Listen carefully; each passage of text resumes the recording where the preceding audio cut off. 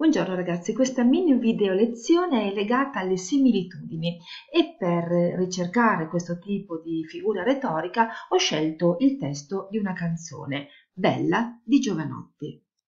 Ecco qui un pezzettino della canzone, proviamo a leggerla.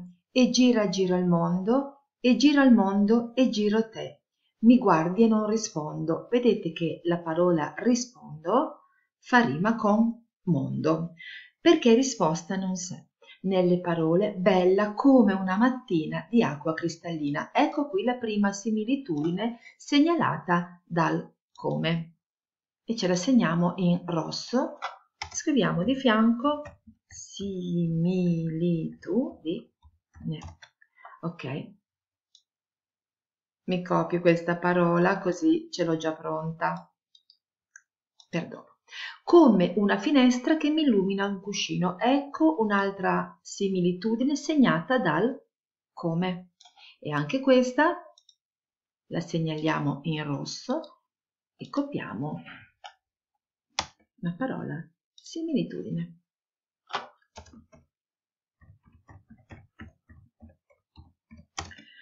Calda come il pane. Ecco un altro come che compare all'interno del nostro testo. Quindi vedete che questa è una canzone ricchissima di similitudini. Ombra sotto un pino, questa volta il come non c'è, però è sottointeso e noi ricordiamo che questa figura retorica ha un altro nome e si chiama metafora. La metafora in fondo è una similitudine senza il come. Mentre t'allontani stai con me forever. Lavoro tutto il giorno e tutto il giorno penso a te. E quando il pane sforno, sforno fa rima con giorno, vedete proprio come rispondo, faceva rima con mondo, lo tengo caldo per te. La rimatura qui è addirittura con la stessa parola. Chiara come un ABC. Ecco un'altra similitudine che segnaliamo in rosso.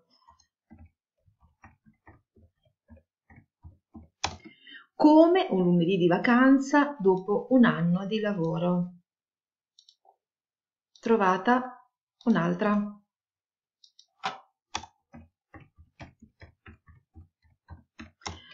Bella, forte come un fiore. Di nuovo il nostro come che ci indica appunto che quella è una figura retorica precisa, dolce di dolore. In questo caso voi vedete che si tratta di due sfere sensoriali diverse, il dolore si percepisce con il tatto e la dolcezza col gusto e quindi, come abbiamo visto in classe, questa si chiama sinestesia. Bella come il vento che t'ha fatto bella amore.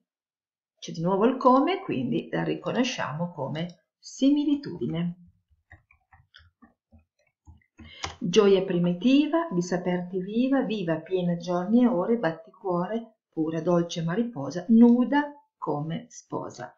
Eccola qua, la nostra ultima similitudine. Vi faccio poi notare un'ultima figura retorica che eh, vorrei presentarvi, si chiama la anafora. L'anafora è quando si tratta di versi che cominciano con la stessa lettera. Guardate quante volte noi troviamo la e oppure la ripetizione della parola bella. Tutte queste si chiamano anafore, ma sarà poi oggetto della prossima lezione. Buon ripasso!